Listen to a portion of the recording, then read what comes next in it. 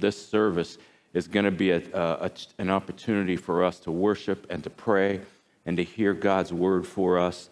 Uh, two words came to mind.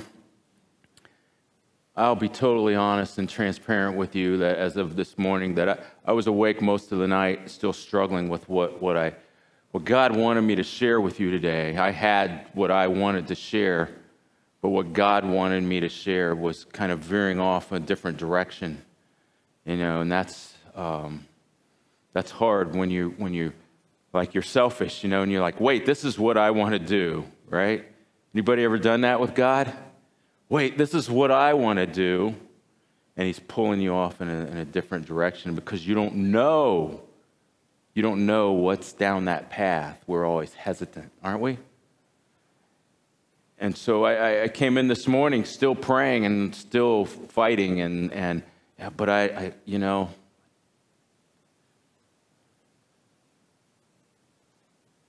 But there are two words that I, that I had that I, I, I knew that I needed to share with you, and, they, and the two words are connected, and they are hope and prayer, right? There are hope and prayer because we need to be reminded that as God's people, we have hope. Despite what's going on around us, we have hope. And, and our hope is directly connected to what? prayer.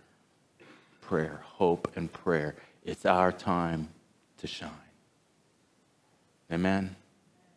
Hope and prayer. And I'm going to be I'm going to be talking and, and, and, and teaching intermittently and sharing a lot of scripture with you this morning uh, on hope and prayer, just to remind you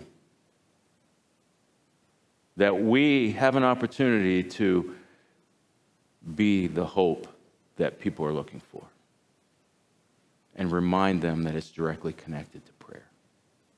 Right? So, so what's going to look different here, uh, as, as most of you know, or you've heard already, is that we have, uh, uh, we have eliminated some gatherings, and this is the only one at this point that will be taking place. There will be no Wednesday evening uh, ministries and until further notice, and there will be no more. There will be no Sunday school until further notice, and we uh, are will monitor that on a daily basis.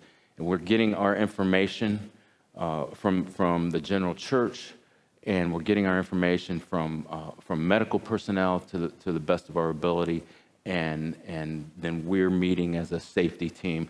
Your health and wellness is important to us because we value you because God loves you.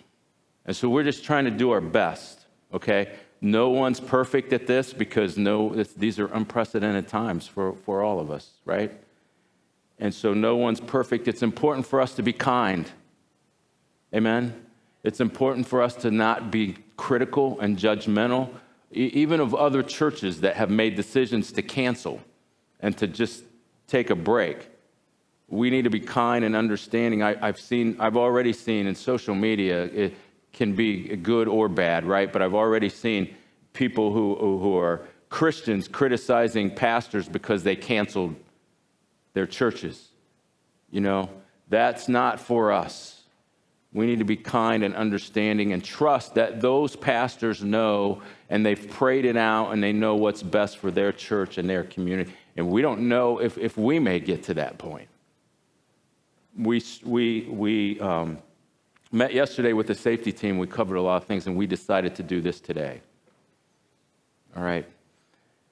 Our, our offering time, and we've made changes. As you know, you weren't handed a bulletin when you came in, you were instructed to pick it up. The, uh, there were no cookies when you came in. So by the time eh, the service is over, everybody's going to be starved and want to just run out of here, right?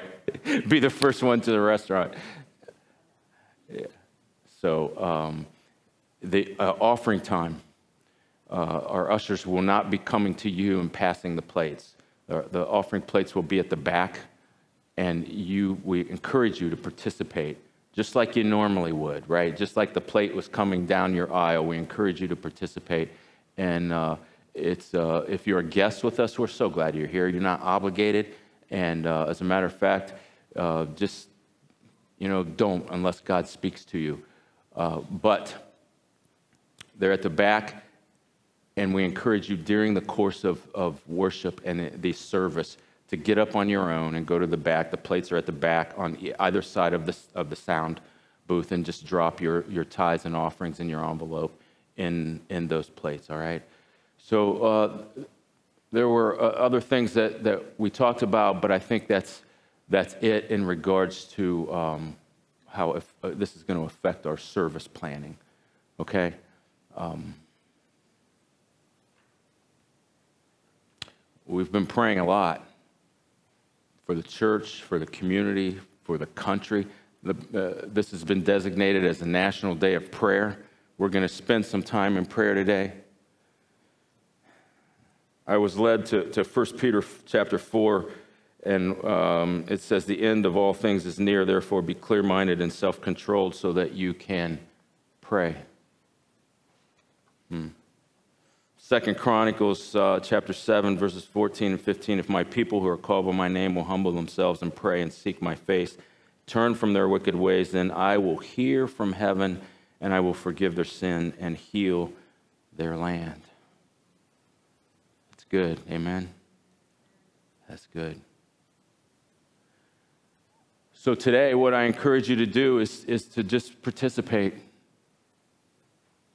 He's done great things. So the worship band is going to continue to, to lead us. I'm going to intermittently share some scripture and some thoughts on, on hope and prayer. And I just ask you to, open your hearts and your minds to be led by the Holy Spirit. And then He will do great things here, right? Father, we thank you for this time that that we have to gather. We invite your presence here, but we don't need to because we know that as we walk in this room, it is filled with the presence of the Holy Spirit. Father, would you move in this place? Would you move in our hearts and our minds? Would you move throughout this room, throughout these aisles? Would you nudge your people? Would you encourage us to offer hope? And then to directly connect it back to prayer. And would you encourage us to shine? To shine in, in, in this community, to shine in the lives of people. And that's what you've called the church to be. We ask these things in your name. Amen. Amen. Hmm. You can always stay connected to us through, through Facebook. You'll be getting information in regards to decisions that are made in the future. We'll be sending out emails, so stay connected that way. If you've missed something, please call the church. I would, I would encourage you, before, before we move on, Adavi, I would encourage you to serve. To serve. We have you look around the room, we have a lot of folks that are out because they've heard from me and said, listen, if you're, if you're over a certain age, please stay out. Don't, don't, don't come. Don't. Those are the most, the, that age group is the most susceptible. And so they've heard that from me, so we have people out. But, and then we have other people where they're, they may be under that age, but their immune system has been compromised and they have health issues and and, uh, and I've talked to many people that are in that category as well. So they need your prayer, and they need us to check on them, right? You know who they are, and if you don't know who they are, call the church, reach out to me,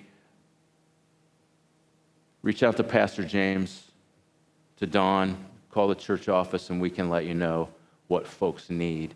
But call people and say, what, you know, what can we do to you? What can we do for you?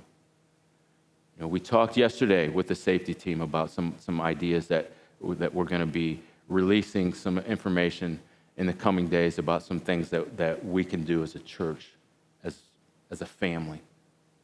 To reach not only our folks that are not here today, but, but be that light that shines in our community. All right? So open yourself up to the possibility because if we, if, if we hide ourselves then we can't be a light, right? Right. I need your prayers. As you know, I have health issues myself, so I need your prayers as well. So be praying for, for us, be praying for Pastor James and, and just for the church in general. That every decision we make will, will be led not by us, but will be led by God. Amen? All right. Everybody good? Don't forget, ushers will not be coming to you. So anytime God speaks to you during the service, just get up and go to the back. You'll find the offering plates back there. All right? Would you stand again? You know, if you are, oh, if you are willing to invite the presence of the Holy Spirit into your life today, and you understand the connection between hope and prayer, our prayer time is going to look different today. Our prayer time is ongoing, free flowing. I encourage you to step out, come and pray uh, at the altar. It's, if you if you can't kneel, sit at the front row. If you have a specific prayer request that's personal that you would like you would like me to pray with you and for you, just come up and, and, and let me know. Okay? Just come up and let you know, let me know. But would you do that? So there will not be a specific time where I say, okay, it's time to pray. Because it's always time to pray. Amen? It's always time to pray. So would you just come? Let's begin with this next song. With this next song, as God speaks to you, as He nudges you, as He tugs at your heart, would you just come? and pray. And you can come and go. You don't have to just come and pray and get up and, that's, and, and then just say, okay, that's done, I've prayed. That's not what he's looking for, and that's not the invitation.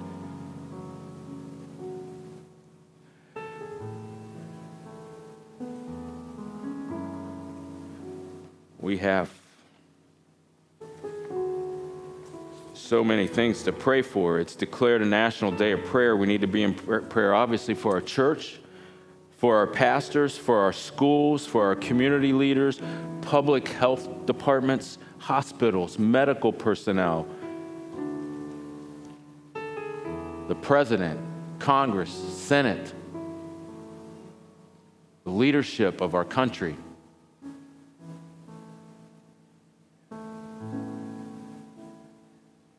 Think about everybody who's making decisions from, from school administrators to hospital administrators, to business leaders, to pastors.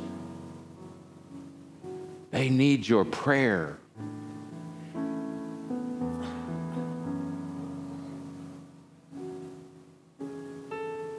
Because we live in a critical world, don't we?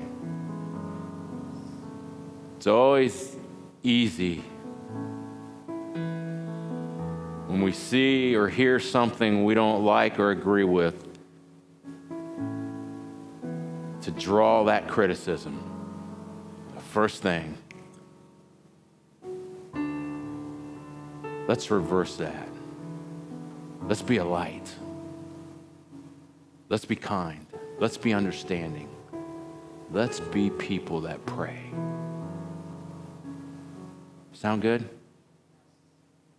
Listen, this is my command be strong and courageous. Do not be afraid or discouraged, for the Lord your God will be with you wherever you go. Hmm. We're on an unknown road, folks.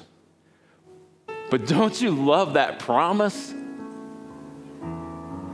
The Lord your God will be with you wherever you go.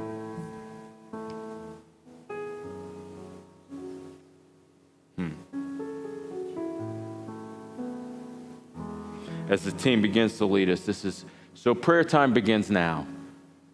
Just like offering begins now and it continues throughout the remainder of the service. And I don't care if I'm up here speaking, if God speaks to you and says, I want you to go pray for someone or, or uh, some family or the church or some organization or some school or some hospital or some doctor or some nurse, and, and, and I'm speaking, you come pray.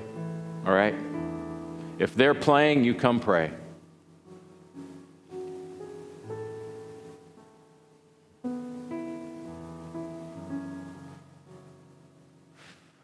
And I understand that we're attempting this. We're being streamed live on Facebook. So if there's anybody out there watching, I encourage you to do the same. Know that we're praying for you. And we encourage you to pray for us in your homes today. Let's go. Let's pray. Let's pray. Let's worship. Ooh, he is here in this place, isn't he? He is here in this place. Amen. Amen. We can all say, I went to church and church broke out. Amen. Oh, God is so good great things happen when we're obedient and we put our trust in God our Father. I, uh, I read by an author by uh, the name of Martha Nobel, and she wrote about, uh, she was writing about hope, and she said, On the way to work, I saw these words written on a sign at a local church Hope is real. Hope is real. And she says, I thought about it and I agreed with the statement, but as I pondered that simple little phrase, I realized that for many people, hope is not real. Hmm. Aren't you glad we don't live in a world where hope is not real? As believers, as believers, we know hope is real. Amen. I believe this is one of the most important gifts that we can give to another person. It's the gift of hope. And then connect it to prayer. Amen. I'm going to invite you. You can, I forgot to tell you, you can be seated, you can stand, you could come to the altar, you can do whatever God leads you to do during this time. I just encourage you to worship and to pray. I have found at every crisis time in my life, the thing that got me through that crisis moment was to worship and to pray and to be in His Word. Those three things. Right? And then to be the light for others. He is the light in a dark world. Children, would you come? I'm going to invite my, my wife is going to come up and pray for you. With all children that are in, would you just come up and join Miss Robin?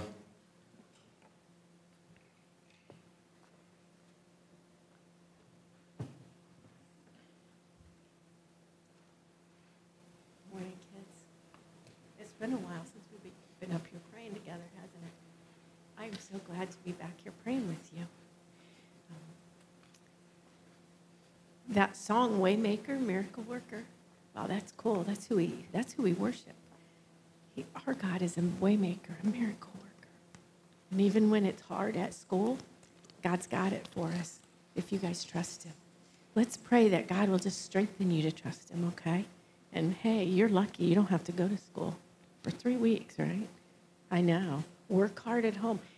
I still have to go to school and work without you. How's that going to work? It's not going to be any fun.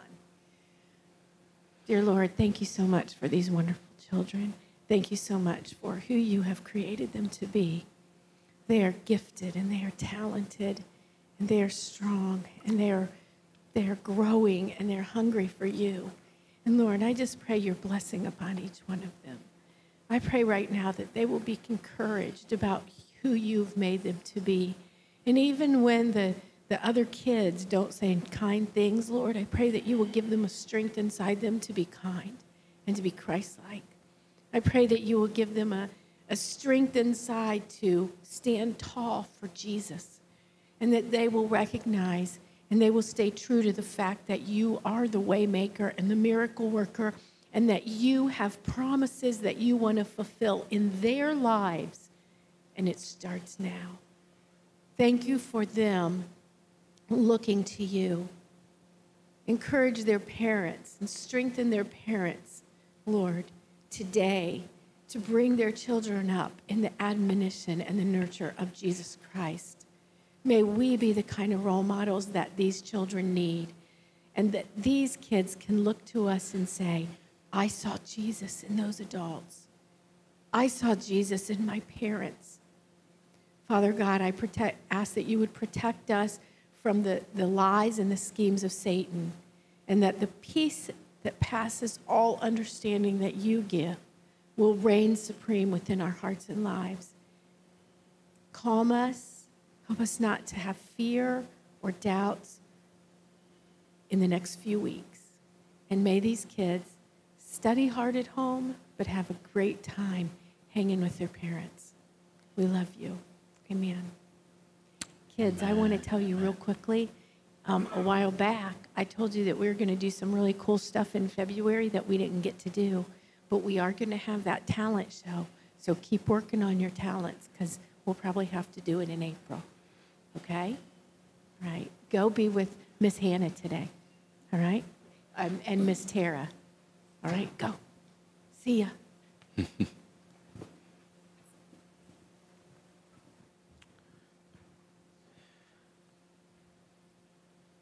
Aren't they beautiful? We're so blessed, aren't we? To have the responsibility of instilling God's word into the, the minds and the hearts of our children, and then to send them out and, and allow them an opportunity to, to be a light. Hmm. You know, one definition of, uh, of hope is this to look forward to with confidence or expectation to look forward to with confidence or expectation. You know that, that when someone is hopeless, they're not looking forward to anything with confidence and expectation. You realize that, right? Have you ever, have you, has your path ever crossed with a person who is truly hopeless and has expressed that to you?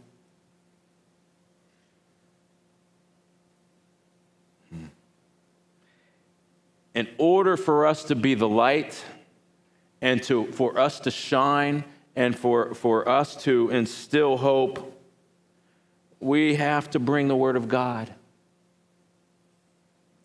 We have to share with them the Word of God because that is the provider of hope, right? That is the provider of hope. And, and for someone who doesn't have hope or know that hope is real, when we bring hope, we bring light. We help them to shine. We bring life because it's life changing. God's word is life changing. And we, can, and we could be the instruments that God uses to bring life, a life changing moment into the life of someone who's hopeless. And it's, more than just asking God for something we need because I know that we all do that so well, right? We're perfect at that. When we need something to pray and ask God,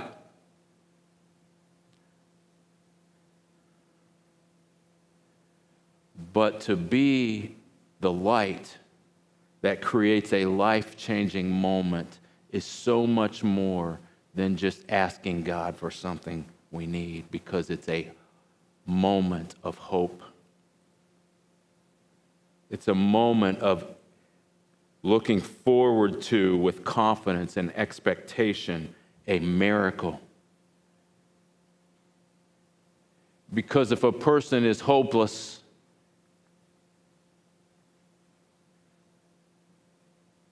And if your paths have, have crossed with someone who, who is in that state, then you know most times the only thing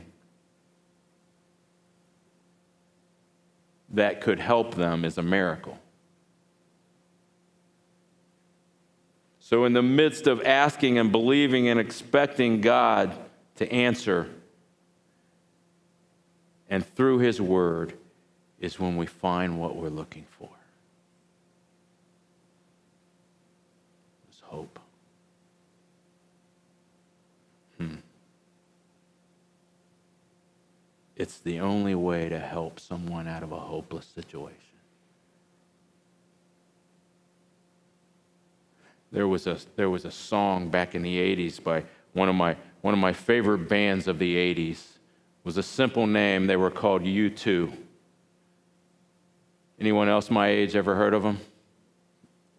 Well, they, they had a song that just said, Still haven't found what I'm looking for. I used to love that song. I used to love to sing along with, with that band. I am so glad that I found what I'm looking for, that I found the light, I found the hope, the hope that only comes in Jesus Christ.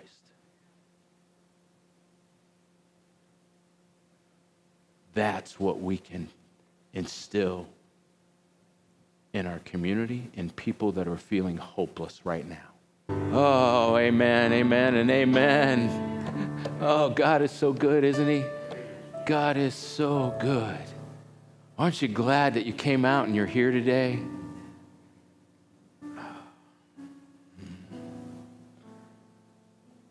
I am still confident of this, of this. I will see the goodness of the Lord in the land of the living. Psalm 27 13.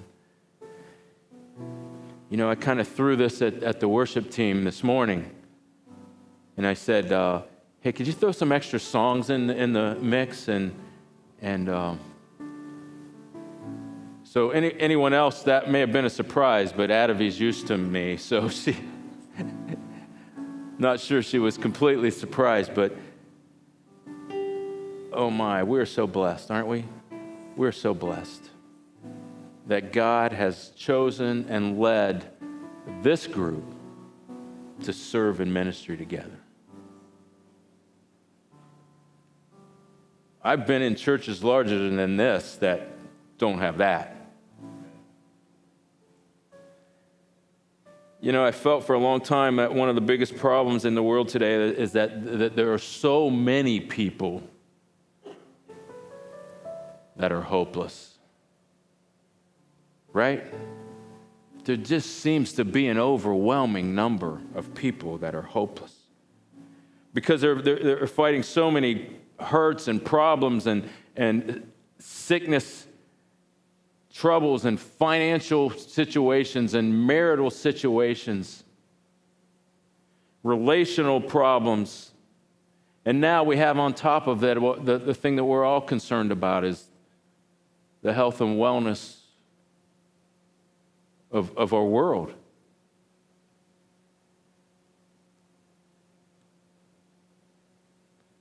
Away from God, the world's a hopeless place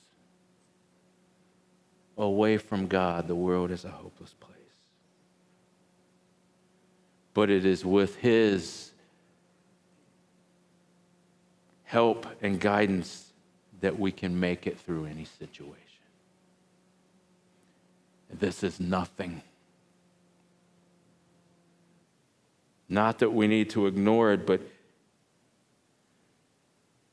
God can give us hope. And you may not be able to see it or feel it, but it's there for all of us. And the only place that hope can be found is through Jesus Christ. Psalm 39 7 says, But now, Lord, what do I look for? My hope is in you. Psalm 42 11, Why are you downcast, O my soul? Why so disturbed? Put your hope in God, for I will praise him, my Savior and God. Trust God. He wants you to. Right? Trust God. He wants you to trust Him. Don't feel disappointed and alone because we have hope in God. We have hope in God's Word. I encourage you that during this time, during these times, these days ahead, these weeks ahead, these months ahead that, that are unknown, that to put your trust in God and know and look forward to and with great anticipation and faith that God is still alive and God still reigns and God still leads. Amen? Romans in chapter 5 says, and hope does not disappoint us because God has poured out his love into our hearts by the Holy Spirit, whom he has given us. Romans chapter 15 says, For everything that was written in the past was written to teach us, so that through endurance and the encouragement of the scriptures, we might have what? Hope.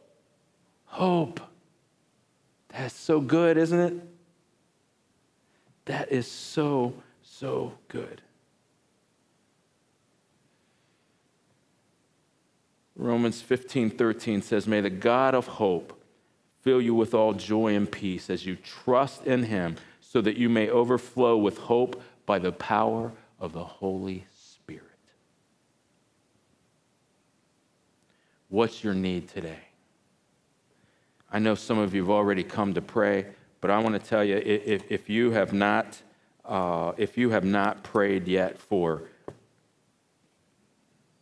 some of the things that are in your, in your bulletin, if you've not prayed for our our schools, if you've not prayed for our hospitals, if you've not prayed for doctors, if you've not prayed for pastors, if you've not prayed for community leaders, and all of those, those people that are making decisions, if you've not done that yet, I encourage you in these next few minutes, would you come again?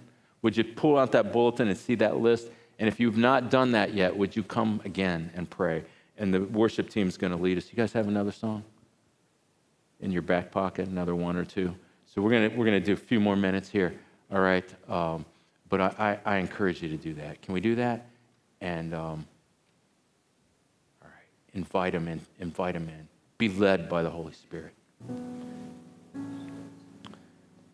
Oh, he's so good.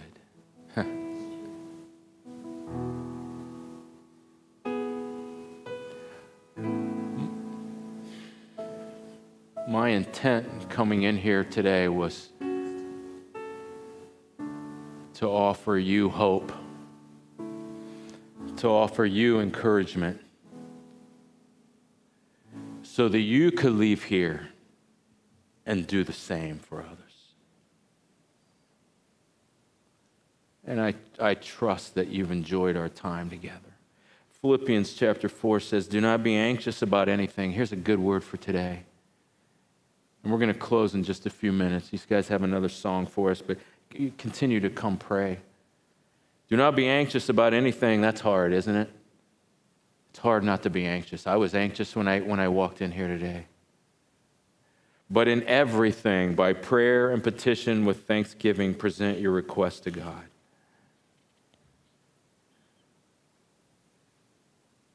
Colossians 4, chapter 2 says, Devote yourself to prayer, being watchful and thankful. 1 Thessalonians chapter 5, be joyful always and pray continually. Why? Because God hears us. God hears us. Psalm 34, 17, the righteous cry out, and the Lord hears them. Hmm. How's that for a promise? And he delivers them from all their troubles. There you go, friends. The righteous cry out, and the Lord hears them. He delivers them from all their troubles. We close with this one. Is this a good? Your next one, can we? We'll close with this song. Okay. All right. We're going to close with this one. If you want to come pray, please come pray. I want to remind you that that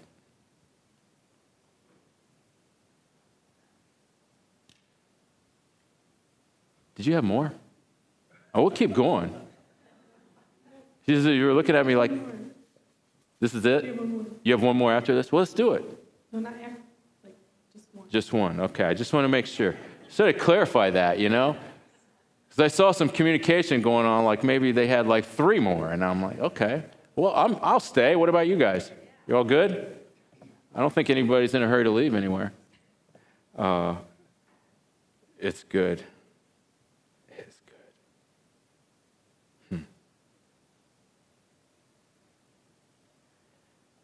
Let's pray together.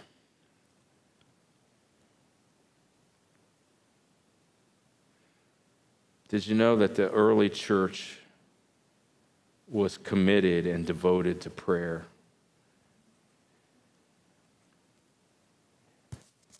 Did you know that often we say that, that prayer is a part of our lives. How many of you say that? Prayer is a part of your life, right? Did you know that the early church, prayer was their life? What if it was our life?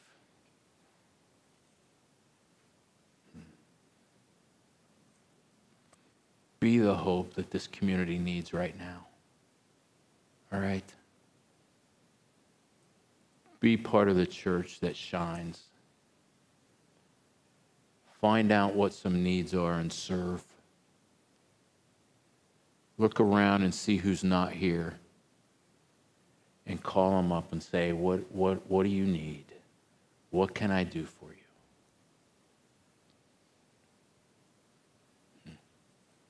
Father, we thank you for this beautiful time of worship that, and, and prayer and scripture and words of encouragement that you've been able to, to give to each one of us today.